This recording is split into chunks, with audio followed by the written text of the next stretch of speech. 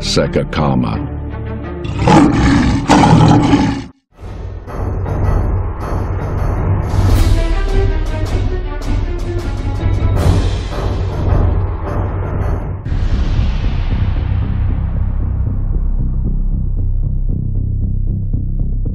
Quais países estão preparados para intervir se a guerra entre Israel e o Hamas se expandir? Uma semana após a eclosão das hostilidades entre as forças israelenses e o grupo de milícias palestinas Hamas, a possibilidade de outras partes serem atraídas para a guerra tem sido cada vez mais levantada. O exército israelense já trocou tiros com milícias alinhadas com o Irã nas suas fronteiras com a Síria e o Líbano sendo estas vistas como as principais áreas onde as hostilidades de longa data podem levar a uma expansão da guerra. O Irã e os grupos de milícias Hamas e Hezbollah e o governo sírio poderiam intervir na guerra contra Israel, enquanto os Estados Unidos e a Turquia são ambos potencialmente susceptíveis de intervir contra os adversários de Israel, caso a guerra se expanda. Os Estados Unidos agiram rapidamente depois que as hostilidades começaram a aumentar no Oriente Médio e em 11 de outubro, o super porta-aviões nuclear da Marinha dos Estados Unidos, o USS Gerald Ford, foi destacado com seu grupo de ataque dentro da gama de operações em Israel.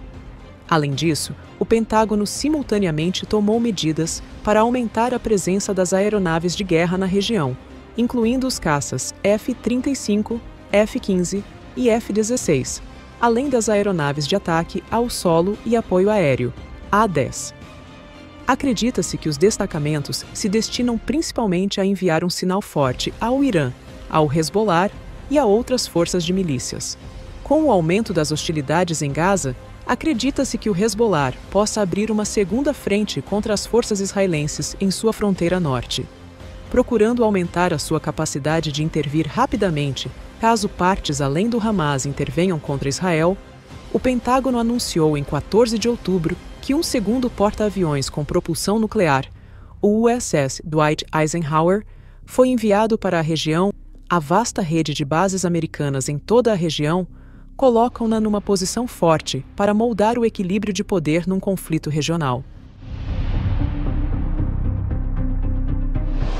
Juntamente com os Estados Unidos, o outro membro da OTAN com uma presença militar muito grande no Médio Oriente, a Turquia, também é considerado susceptível de intervir caso a guerra se agrave, e particularmente se as forças do governo sírio ou grupos de milícias afiliados baseados na Síria entrarem na guerra.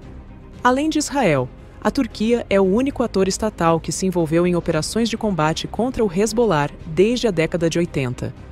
O perigo representado pela Turquia e pelos grupos militantes sob a sua influência é um sério constrangimento à capacidade de ação da Síria do Hezbollah e de outras partes contra Israel.